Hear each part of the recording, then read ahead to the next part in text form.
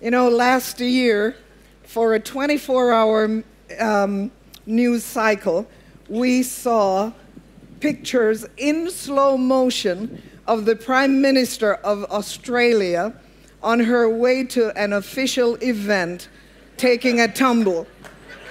I mean, we saw it on every station in slow motion, speeded up every way.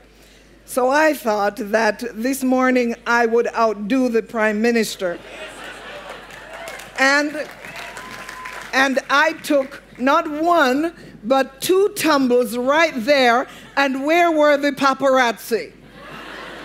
Only those who were there saw it. The rest of you didn't get a chance to see that I can outdo the Prime Minister of Australia.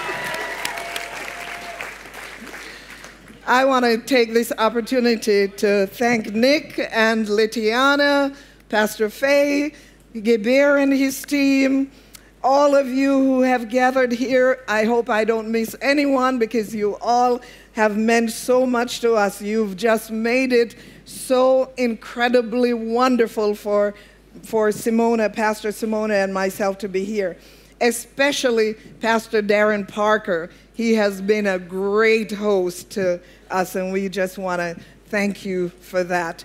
Let's pray. Father in heaven, thank you so much for all the worship we've done this morning. Now we want to hear a word. For this we came, please do not disappoint us, especially the speaker because I want to be changed so that I too can be a world changer. In Jesus' name, amen. Will you stand with me and open your Bibles so that we can read the scripture? Open your Bibles to Lamentations chapter 3. That's our Old Testament lesson. Lamentations chapter 3.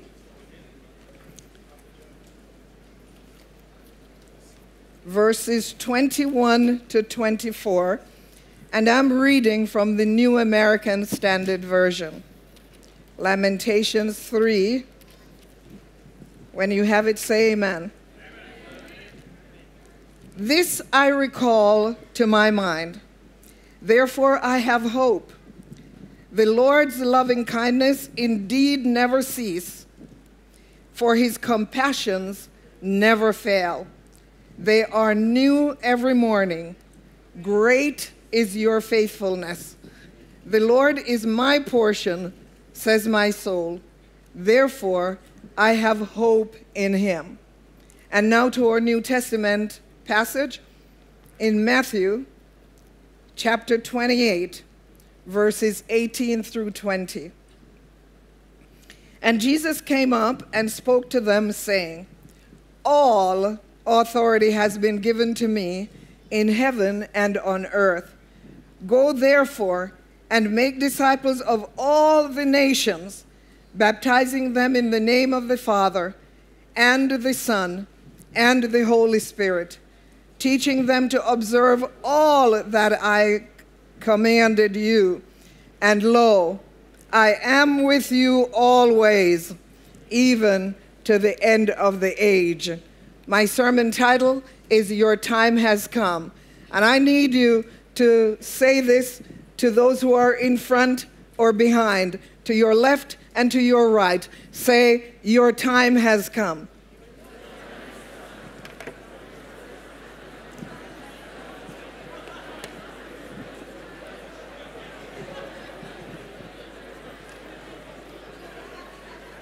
Now say it like you mean it before you sit down. Your time has come. And now please be seated. One of my favorite preachers recently told this story. He said that one day he was walking down 42nd Street in New York City and he saw a well dressed man sitting on the sidewalk across the street. And this man looked like he had fallen and hurt himself and so he decided to cross over to see if he could help him. And as he began to cross the street, he realized that he thought that he recognized the man. And when he came up close to him, he realized that he recognized him. and it was none other than the devil, Satan, that old serpent, that, uh, that dragon of old. And so he went up to Satan and he said to him, Devil, what on earth are you doing here? What are you doing sitting here like this with your, your face in your hands and shaking your head from side to side? You're usually everywhere breaking up marriages, corrupting governments, accusing the brethren. What are you doing sitting here like this? After a pregnant pause, said he, the devil responded woefully. You see, nobody is resisting me anymore. They're not resisting me like they used to. And as a result, I have nothing to do. So everything is going my way. This is what the devil is thinking. And sometimes when we look around at our world, it seems as if everything is going the devil's way. When you think of the global economy that has been brought to its knees by the greed of a few over the need of many. I would say that everything's going the devil's way on our planet where thousands of children every day are snatched from their beds or on their way to school to be viciously raped, used as sex slaves in pornographic pictures to satisfy the, the perverted passions of adults who discard and murder them and toss them aside like they're trash. I would say that everything's going the devil's way on earth, where last year nature convulsed causing the earth to vomit up its inhabitants through unprecedented numbers of violent tropical tornadoes, category two hurricanes, powerful floods, earthquakes, and tsunamis that have taken the lives of millions, along with billions of dollars of property damage. Wouldn't you agree with me that it seems as if everything is going the devil's way? It seems so in our church and world where more than 50% of all the people who get married also get divorced. 30%, 34% of, un, of unwed teens have at least one pregnancy before turning 20 and untold numbers of abortions are performed annually. America rates number two on the list of all nations in in abortions being performed, second only behind Russia, to satisfy, to protect the, and cover up the result of lust and loose living. You see, the reason why all of this is happening is because self denial ethic has morphed into self fulfilled ethos as people listen and respond to their own emotional needs, which they want fulfilled immediately without waiting, without sacrifice. And we see that attitude and that mood is taking over our churches. Everywhere we turn, everywhere we look, as far as the eye can see, evil abounds and it's getting even more aggressive every day.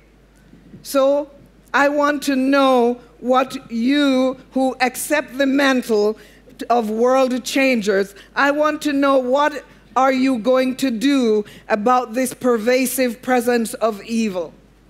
I want to know what you're going to do. Are you going to leave this conference where you were taken up in, into to the mountaintop in worship. Did, wasn't this the singing and, and everything so fantastic? We were taken to the mountaintop in worship. Are you going to just go home and sit in your comfortable congregations and keep silent about evil? Are you going to retreat into pretentious prayer pretentious piety and join others in their puny prayers with those who act as if God's love protects us, makes us immune to the evil and the suffering of those around us? Are you going to just continue weeping individually over the degradation of humanity? Are you just going to continue worrying corporately about the declining membership of our churches while waiting on someone else to do something about the polluting power of evil? Are you going to do that? Just tell me so I can know why I came to this conference from such a long distance away. I lost a whole day to get here. So I want to know what are you going to do? Are you going to leave from here and just be, be happy that you came and, and, and networked with your friends and, and took pictures with, with Dr. Williams? Blah, blah, blah. Is that what you're going to do? I need to know before I take flight in the morning. I want to know are you going to just keep on fretting about the next crisis the devil will create? Are you going to continue being frustrated with the emotions those crises will evoke to dictate what you can or cannot do as a person, as a nation, as a denomination? Well, I think I know what you are going to do.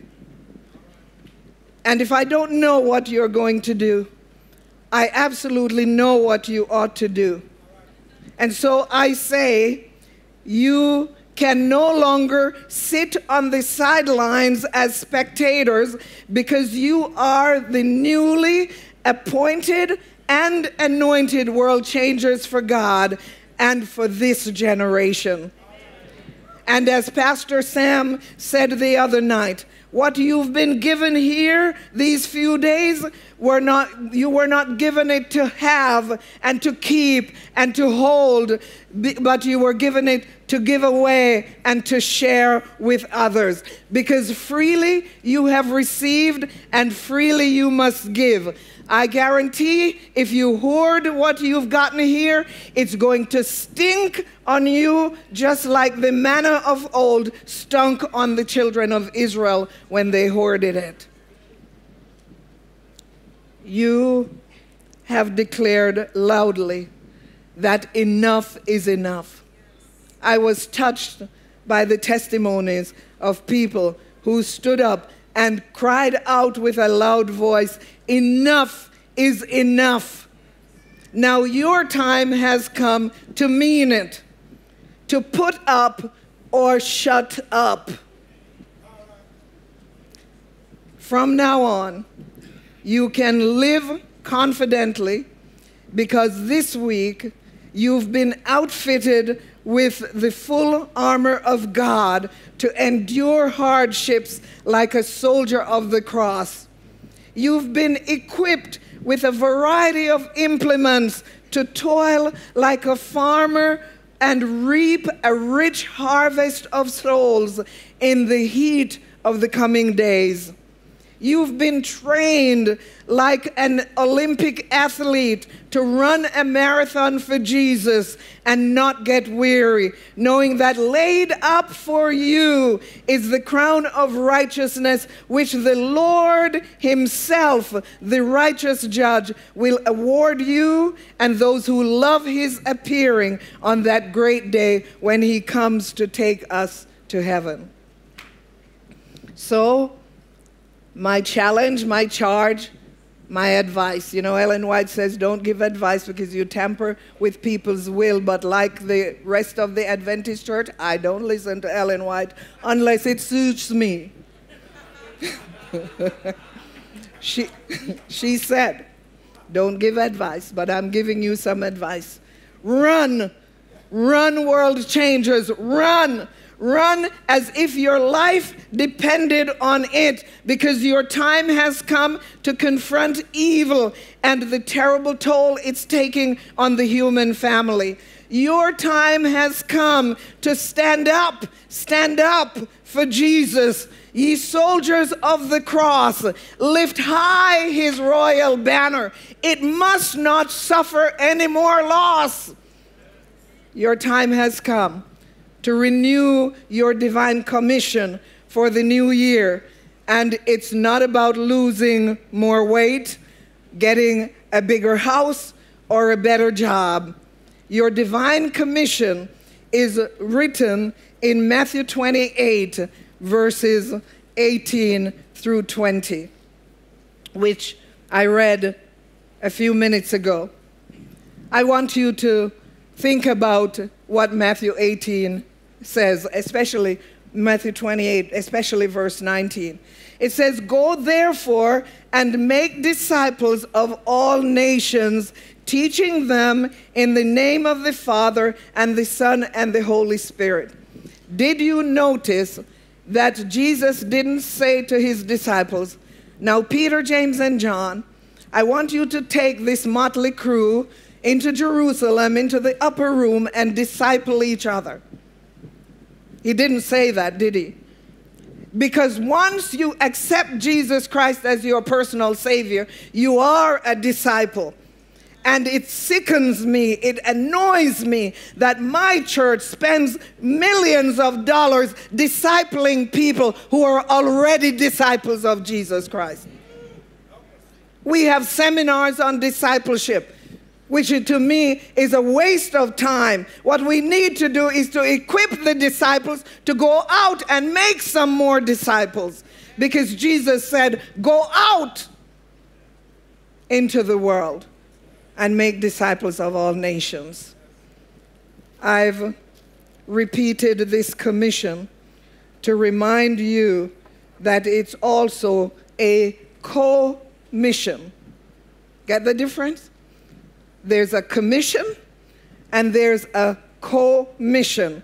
And a co-mission is when we are in partnership with Jesus Christ to seek and save the lost. You see, that's his mission, and we're co missionaries with him to seek and save the lost. It's a, commission and a co mission that includes depending on Jesus to overcome evil with good as you make disciples of all people in your sphere of influence. If you have the guts or the grit to accept this co mission, you must be willing and ready to serve God regardless of the circumstances in which you find yourself in the coming year. This means that if, when you encounter opposition, you will have conviction to finish what you start as world changers, ambassadors of Christ, through whom He's making an appeal to the world. If and when others try to persuade you that this mission is impossible, you will trust and obey God, knowing that all things are possible with God. If and when you feel like this mission isn't producing the, the promised results, and you're getting bogged down in a blizzard of blame and despair, you must dig deeper into the word for more divine instructions. Divine instructions, such as those preserved for us in Revelation chapter 12, verses 7 through 12 and 17. Will you open your Bibles again? Revelation chapter 12. It's the familiar passage. We Adventists love to preach this passage sometimes so much so that we miss the message.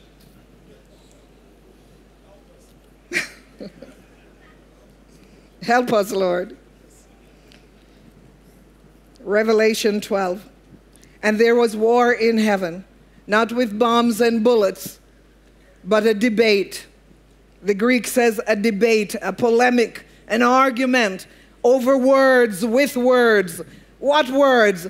The Jews call it the 10 words. We call it the 10 commandments. They were arguing. Ellen White said that the devil said, This is too hard to keep.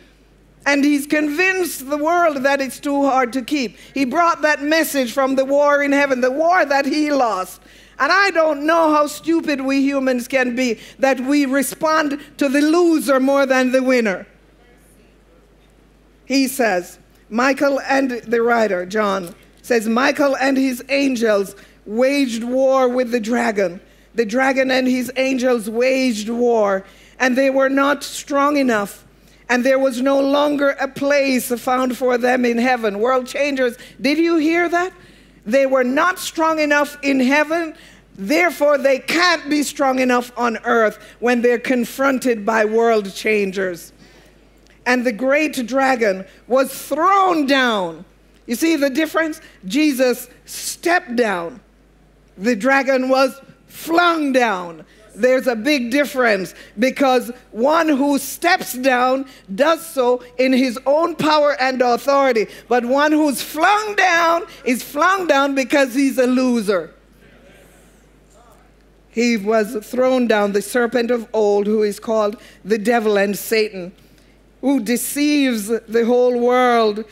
He was thrown down on the earth, and his angels were thrown down with him. See how many times? Are you now convinced that they were thrown down and they have no power over you unless you give it to them? Then John said, I heard a loud voice in heaven saying, Now the salvation and the power and the kingdom of our God and the authority of his Christ have come down. For the accuser of the brethren has been thrown down, he who accuses them before God day and night. I wish I could sing. And they overcame him because of the blood of the Lamb and because of the word of their testimony. And they did not love their life even when faced with death. For this reason, rejoice, O heaven, and you who dwell in them. Dance, have a party, for the devil lost and he was thrown down. But it's not over. Woe, woe, woe to the earth, woe to the earth and the sea, because the devil has come down to you, having great wrath, boiling rage, knowing that he has only a short time. And verse 17. So the dragon was enraged with the woman, the church, and went off to make war with the rest of her children who keep the commandments of God and hold to the testimony of Jesus. Now, did you notice that we overcome the devil and his evil deeds because of the blood of the Lamb. Didn't we just sing that this morning? The blood that Jesus shed for me. Way back there on Calvary, 2,000 plus years. The blood that gives me strength from day to day will never, ever, ever lose its power. And why won't it lose its power? Because Jesus paid it all. All to him we owe. Sin had, heard it? Sin had left a crimson stain, but he came down and died on the cross and washed it white as snow we also overcome evil with good because we are among the children who keep the commandments of God and hold to the testimony of Jesus. Jesus' testimony, the testimony of Jesus, is none other than the Word of God. The Bible tells us it's a lamp to our feet and a light to our path in a world where men and women love darkness more than light. But I have good news this morning. This is why I can preach this morning, because I know for a fact that the darkness can never, will never overcome the light, who is Jesus Christ, the marvelous light. We further overcome evil with good because of the word of their testimony. Whose testimony? Those who were accused by Satan. The brethren who are who have been accused by Satan. But they are the ones who have passed through the fires of persecution and the floods of wickedness in high and low places. And they did not love their life even when faced with death men and women who didn't love their life. Men like the prophet Jeremiah, whose testimony we find in Lamentations chapter 3, verses 21 through 24. Look with me again to Lamentations. This is a familiar passage to Christians. We all say it, don't we? Great is thy faithfulness, we all say. We all say, morning by morning, new mercies we see. But do we understand where this testimony came from? You know, in 1923, Thomas Chisholm wrote the hymn, Great is Thy Faithfulness. And he, when he penned that poem and it was put to music, it became it, and, and it was published, it became a significant part, song of encouragement in the Christian church. So let's just pause and ponder a moment this familiar stanza. Great is thy faithfulness, O God my Father. There is no shadow of turning with thee. Thou changest not, thy compassions, they fail not. As thou hast been, thou forever will be. Great is thy faithfulness. Great is thy faithfulness. Morning by morning, new mercies I see. All I have needed, thy hand hath provided. Great is thy faithfulness. Lord, unto me. You know, this song is not only a favorite that will ring in our subconscious for days to come, it will meddle with our minds for hours after this worship service.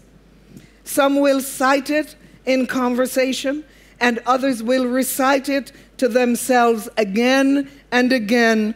But I wonder if we ever consider the context out of which this uh, testimony came.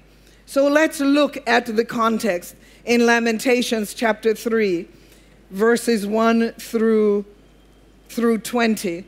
But I'm just going to read a few of the verses in the interest of time and the fact that I really have got a lot to say about it.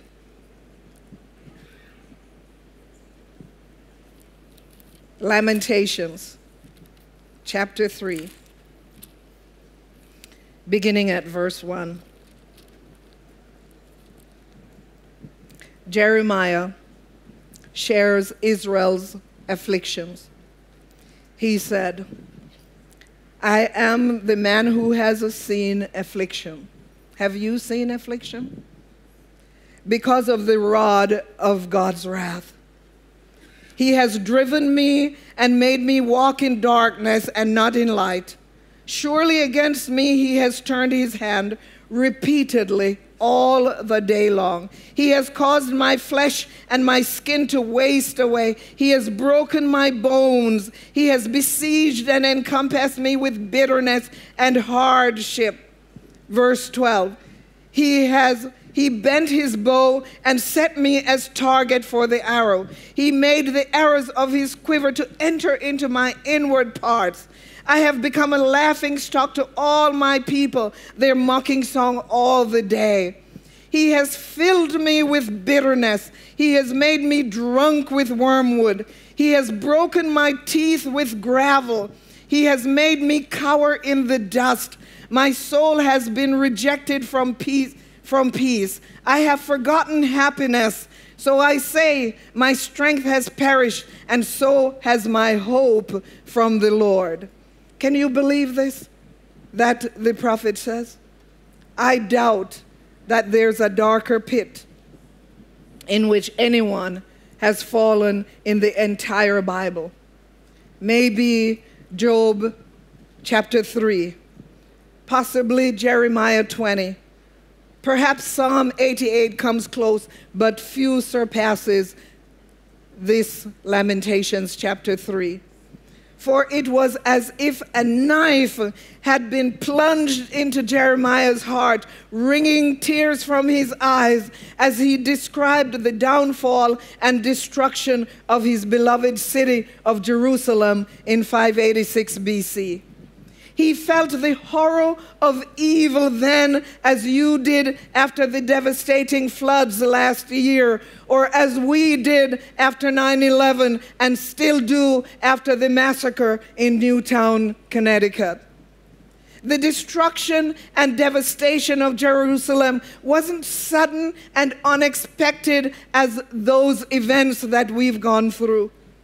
For over 20 years, life in Jerusalem was marred by constant assault upon the sacred city until it finally fell into the hands of its Babylonian enemies. And although the prophet wrote this lament some 10 years after that historic event, they were as raw to him as if it happened the day he penned this poignant poem events that he saw, such as the bloody massacre and massive destruction of property, especially the temple they called the dwelling place of God and one of the wonders of the world. Most of the catastrophes in our world occur at a distance, far away from us. We only see it on television and we pause a moment and then go on with our lives. But to Jeremiah, it was very present and, and, and personal.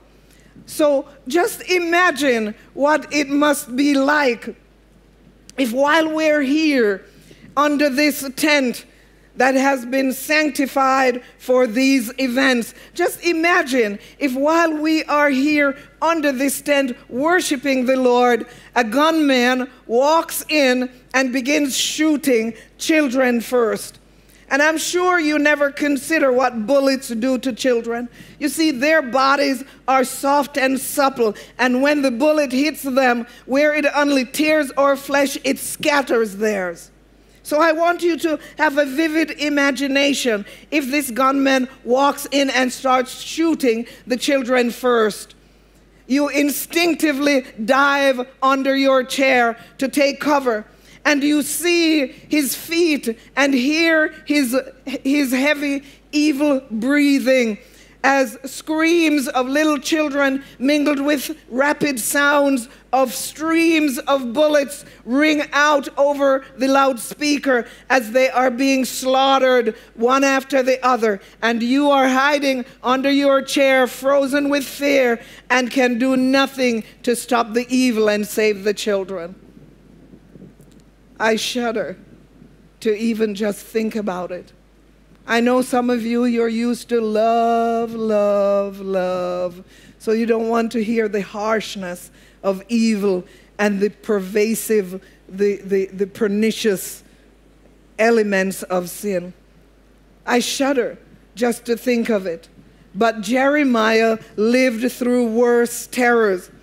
He watched barbaric Babylonians line up the pregnant women in his village, the Hebrew women, perhaps even his own sisters, and slit their stomachs open as bloodthirsty invaders cast lots to see how long the fetus would survive while the mother bleeds slowly to death. Imagine seeing that.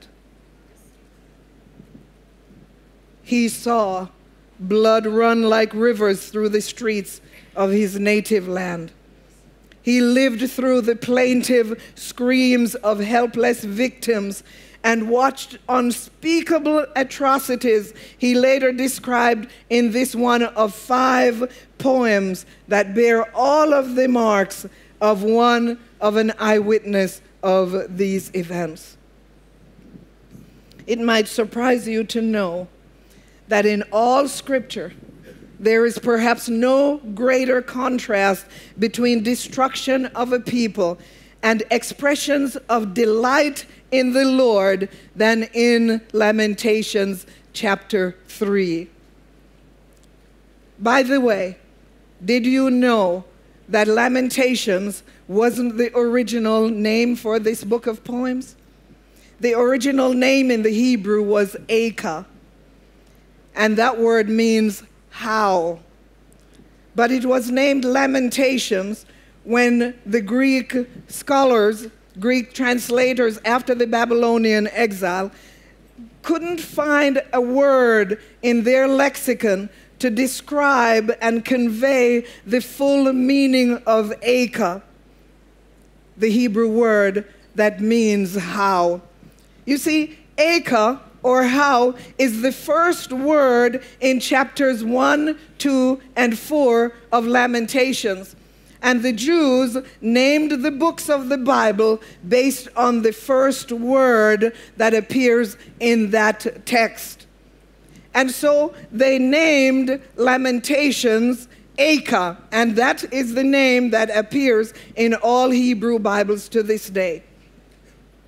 Acah conveys a sense of profound shock after indescribable loss, such as the destruction of Jerusalem. Acah begs for answers to questions such as these How in God's earth did this happen? You ever ask yourself a question like that? How in the world could this atrocity have taken place? How could God have allowed the vicious slaughter of thousands of people who faithfully worshiped Him? How could He have silently watched the brut- brutally savaged women and mothers who were reduced to eating their own children to survive? How could He have allowed the cream of the crop of Judah, like Daniel and his three friends, to be taken and marched for days and miles to be captives in the, in the profane city of Babylon. How could this have happened in Jerusalem, a place whose name means reign of peace or foundation of peace, and called the holy city, the dwelling place of God? How on earth could this have happened? And if that wasn't bad enough, their temple was destroyed, and the people who were left behind couldn't worship anymore. How? How could this have happened? But there was worse to come when the weeping prophet discovered that it wasn't just the brutal Babylonians who did this, these atrocities. It wasn't just Nebuchadnezzar and his nasty horde of raiders who were to blame for this disaster. It was God Himself. It was God Himself who did all of these terrible things according to Jeremiah in his Lamentations. Let me show you in Lamentations chapter 1, verses 12 through 14. I hope you're hanging with me and, and, and listening. I'm the kind of preacher that likes to give the fullness of the story before we draw lessons. So I hope I'm not boring you to tears. Nod if you're with me. Say amen if you're with me. You're not asleep out there, are you? Those who are watching, hang with me. I've got a point that I'm moving toward. But listen to chapter 1, verses 12 through 14. Is it nothing to all you who pass this way? Look and see if there is any pain like my pain, which was severely dealt out to me which the Lord himself inflicted on the day of his fierce anger. From on high he sent fire into my bones, and it prevailed over them. He has spread a net for my feet. He has turned me back. He has made me desolate, faint all day long. The yoke of my transgressions is bound. By his hand they are knit together. They have come upon my neck. He himself has made my strength fail. The Lord himself has given me into the hands of those against whom I am not able to stand. Can you believe it?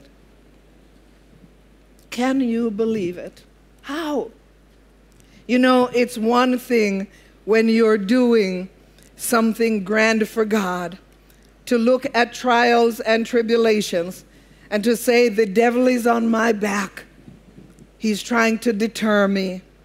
It's one thing to experience a disaster and know that the enemy has done this or that evil in the world. It's one thing to pray like Daniel and discover later that the Lord sent an angel and answer by an angel, but the prince of darkness withstood him for 21 days. But it's quite another thing, especially for us who believe in the sovereignty of God, who keep His commandments and cherish His word, to accept that God deliberately caused the accident, the heart attack, the cancer that took the life of a loved one. It's quite another thing to think that when you are out there sacrificing your life as a world changer and witnessing for God, He would break your teeth with gravel or make you a laughing stock in the world He sent you to change. It's quite another thing to admit that God caused the massacre that took the lives of harmless adults and innocent ch- children let me quickly affirm that while God doesn't hold the guns and spray the victims with bullets, if He doesn't intervene but allows the terrible tragedy to take place, according to the testimony of Jeremiah and other speakers, writers in the Bible, according to the Bible, it is God Himself who does it. We don't like to hear that. He himself did it. The prophet further asserts that God did those atrocious things to his own people to wake them up, to call the nation immersed in evil in a culture of gross immorality and vicious violence to wake up. A culture of violence like America has become, once called the little lamb, is now one of the most violent cultures in the earth and it's polluting other cultures. And Australia isn't too far behind, where today God is allowing unspeakable acts of wickedness to jar us awake, to confront us with the corrupting influence of evil, to show us that the nation, that this nation, is, has become the puppet of the dragon, polluting our church and our world with wickedness and giving the devil reason to boast that everything is going his way.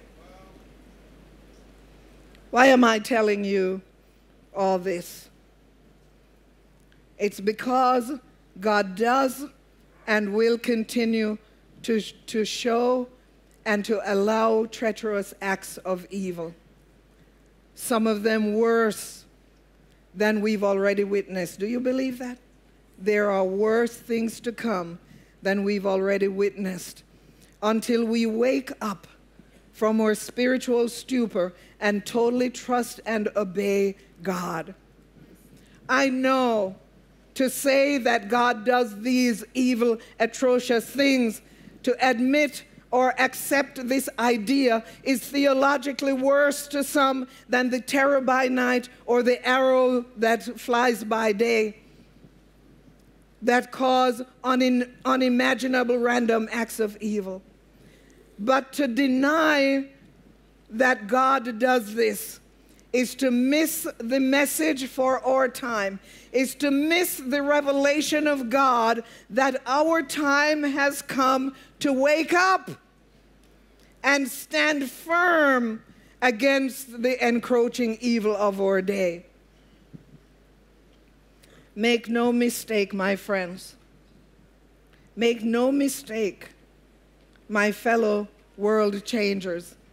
The increasing aggressiveness of demons today is only a sign of things more wicked this way comes. Things so awful that we can't even imagine them to enslave our denomination and our nation. So let's learn more from the prophet who overcame the evil done by and to his nation and generation, according to his testimony in Lamentations 3 22 and 24 to 24. In the midst of all the mayhem mentioned in the previous chapters and verses, memories of which Jeremiah, which brought Jeremiah to the dark door of despair and caused him to be forever labeled as the weeping prophet. This is what his testimony is saying to us today. I believe his testimony is saying, I'm reeling from the raw results of decades of incredible tribulations. I'm reeling from the raw results of wicked invaders who have robbed me of my family, taken the life and liberty of my people, raped our promised land, and ruined our sacred temple. But I will not let them take away my joy in the Lord, for I was divinely appointed and anointed as a world changer. So while my heart is breaking from the results of unspeakable disaster, I have deliberately, without malice or forethought, forced, made myself recall the faithfulness, the steadfastness, the immovability, the trustworthiness, the dependability of my God. And why? Because that's what true believers do when the wind, when the devil knocks the wind out of them when the rubber meets the road and the ride is rougher than you anticipated, when the devil drives a nail through your heart to kill Christ in you, even though you have been hurt and you don't like what it feels, you make yourself you force yourself. You deliberately make yourself remember the times when you sat in this tent and raised your hand and praised the Lord, and you think of the faithfulness of God.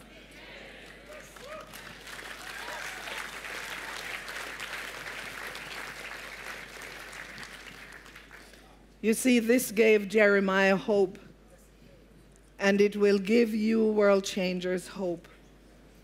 Your time has come to go boldly into the new year and make disciples of all nations by the word of your testimony.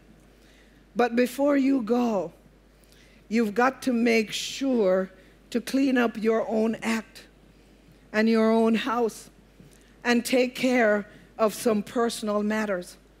For instance, to my embarrassment, it has been found that some among us, world changers, are secretly wallowing in sin, in the sin of pornography, sexual misconduct, and several forms of gross immorality like gossiping and cheating God out of his time and tithe and talents. You know, the Apostle Paul said, These things and other such ungodly things should not even be named, much more practiced among the people who are called world changers by God's name. Yet they are. Let's just be upfront and admit that we're not all saints, but we're all sinners saved by grace. In fact, it never ceases to amaze me how long some of us will, will stay in places of emotional, physical, financial, and even moral degradation due to unconfessed sin in our lives. Some are unwilling, and others are unable to move to move out of those situations because they feel stuck. But I'm here this morning to testify as one who has overcome and is still overcoming because I'm a work in progress. I've overcome some of the most hateful acts and attitudes against God. And I'm here to tell you that it is your choice. It is your choice, world changers. You don't have to continue living in sin and being oppressed by sin anymore. For when God chose you to be a world changer, the Son of Righteousness liberated you from sin, from all of those things, not some, but all of them. All of that, all of the claims that sin and the devil has put upon you. And when the Son has set you free, you are free indeed. Therefore, even when it appears as if matters are beyond your control, you still have options. Do you believe that? Do you believe that you have options? You can decide how long you're going to stay in a place of immorality. You can decide how quickly you're going to get out. But sometimes we prefer the pain we know than the freedom and liberty we don't know. So, how long will you stay in that place? You can decide how long you're going to allow people to take advantage of you, of your kindness and your weakness. You can decide right now whether or not you're going to remain in financial or emotional bondage with limited discretionary resources or get out right now so that God can bless you and use you as a blessing to others. I'm here to encourage you to not stay there. You must get out. But when and if you decide to move up and move out with Jesus, you will encounter opposition. Even the very members of the church that you're returning to. Even some of those who rode with you on the buses and on the planes might ridicule you. And they will do this to draw you off course. You might even be ridiculed and rejected, but don't let those challenges draw you off your course. Don't let the devil dim your light, and don't let the detractors steal your crown. Instead, stand firm, knowing that as Jesus once prayed for Peter on earth, he is now at the right hand of God praying for you in heaven, interceding for you. Stand firm, confident that Jesus is with you always, even to the end of the age. Stand firm, not under duress, but joyfully, according to the will of God, not for sordid gain, but with eagerness. For it is written in 1 Peter 5, verse 4, that when the shepherd, the chief shepherd, comes, you will receive the unfading crown of glory. So, it seems like the heat is getting to you, and I'm coming near to the end. So turn to somebody and say, Stand firm. Say it again. Stand firm. Say it again. Stand firm. You see, your time has come, world changers, to lay aside every encumbrance and the sin that so easily entangles, so that you can run with endurance the race that is set before you and help others overcome evil with the word of your testimony. And the way that you overcome evil and have confidence in the testimony of, of, of, of the prophet Jeremiah is to consider the companions of God's great faithfulness. Have you ever thought about this? It says, Great is your faithfulness. And then there are two companions that Jeremiah mentioned in the plural form because you can't adequately express or describe such multidimensional, vast, and boundless companions of a great faithfulness in the singular. The first is loving kindnesses, not just loving kindness, but loving kindnesses, also known as steadfast or great love. They never cease. These loving kindnesses describe God's beauty, mercy, and grace, without which there would be no repentance from sin. They are so magnanimous that Jeremiah used the plural to demonstrate the generosity with which God lavishes our ever our everlasting, ever loving heavenly Father lavishes us with his unconditional regard. Compassions the second companion. They're also in the plural, which mean, and they mean mercies.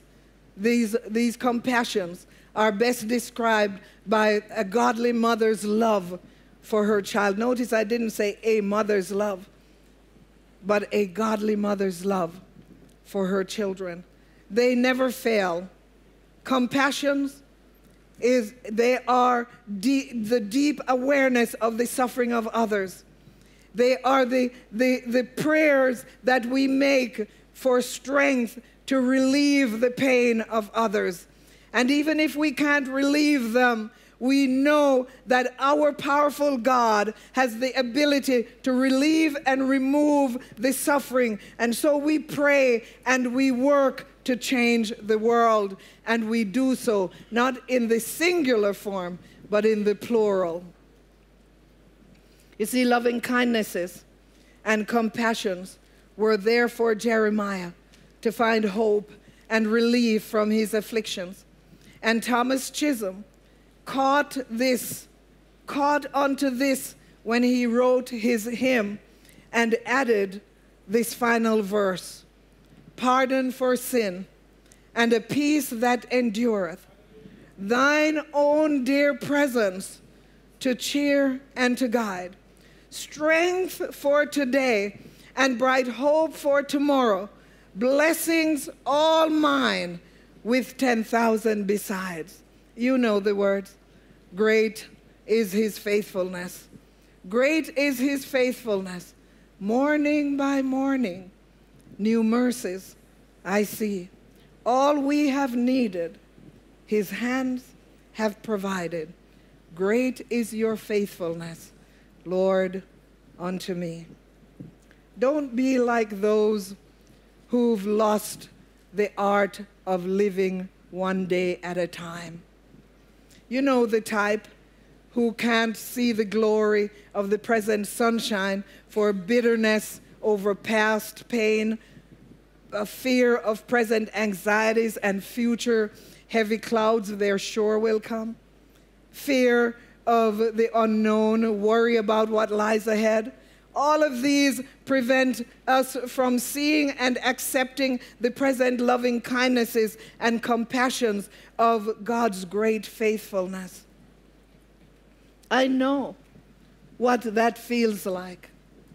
You see, years ago, when I graduated from college with my bachelor's degree in theology, the only job that I could get, the only job that God provided for me was to be a gopher, the lowest on the totem pole at the General Conference. And at the General Conference in those days, they did not consider women studying for the ministry to be a viable option some of the leaders were very quick to tell me that I'm wasting my time.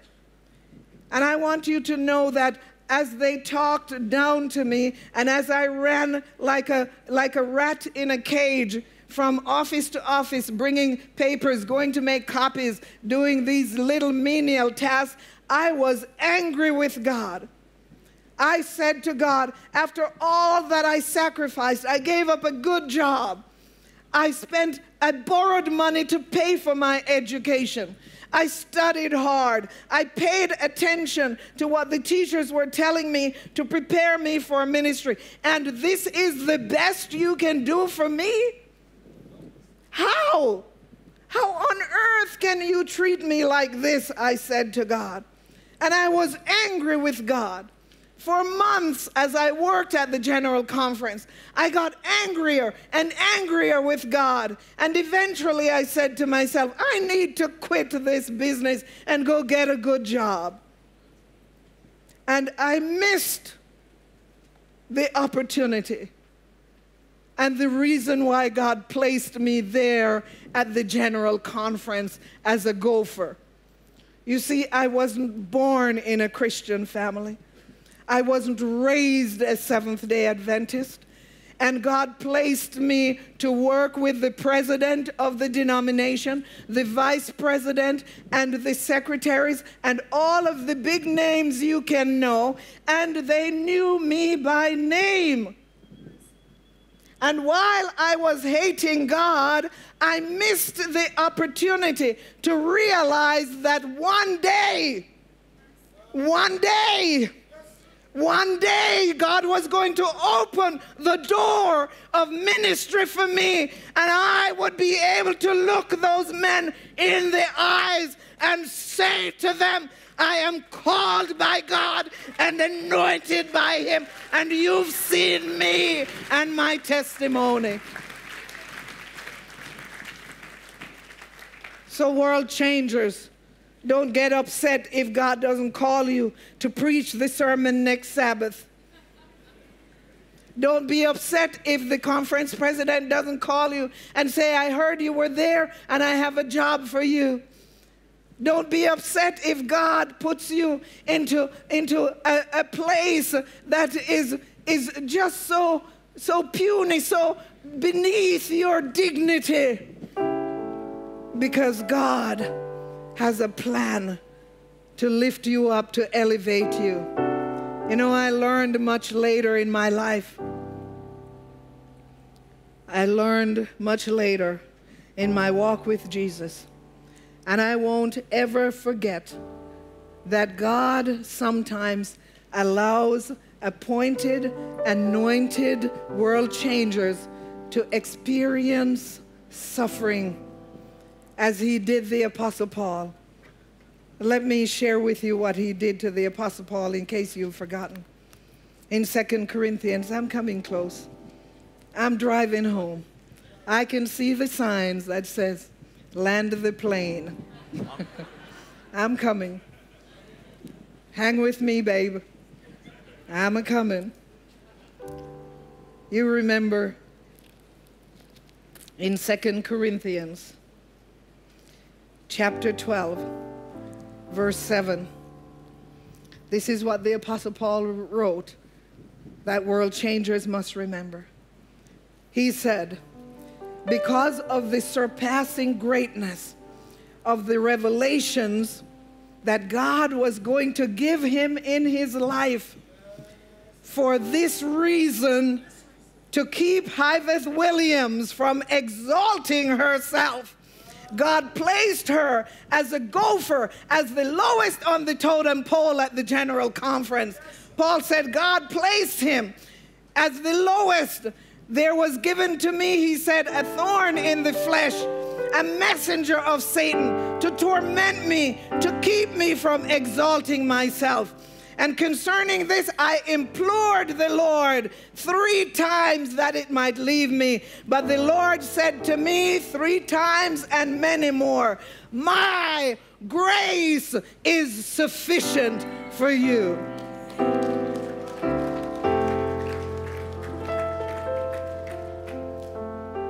My sisters and brothers in Christ, our time has come to tell Satan that we're not going to let him take advantage of us anymore. Your time has come to make a decision, to bust a move. And I seen you bust a move when that reggae saw you, Pastor, bust a move to the glory of God.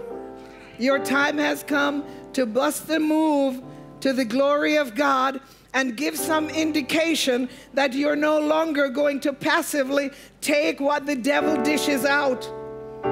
After all, you are world changers, part of the fellowship of the unashamed. And we cannot be bought, compromised, detoured, lured away, turned back, diluted, or delayed. We will not flinch in the face of criticism. We will not hesitate in the presence of adversity. We will not negotiate at the table of the enemy or ponder at the pool of popularity or meander in the maze of mediocrity that's prepared by the devil and his evil angels to entrap us. We won't give up, shut up, or let up until we've stayed up, stored up, prayed up, and spoken up for Jesus Christ and his cause. Your time. Your time has come to step, step up and get your minds and hearts pure and your hands busy for the sake of your call in Jesus Christ. Your time has come to live your faith out loud, to give until you drop, to testify until all know, to work until Jesus stops you. And when he comes for his own, you will be recognized as those who overcame by the blood of the Lamb and the testimony of Jesus. Why? Because you are world changers. Who are you? Now, who are you? Now, who are you? World changers. And we have the power to change the world.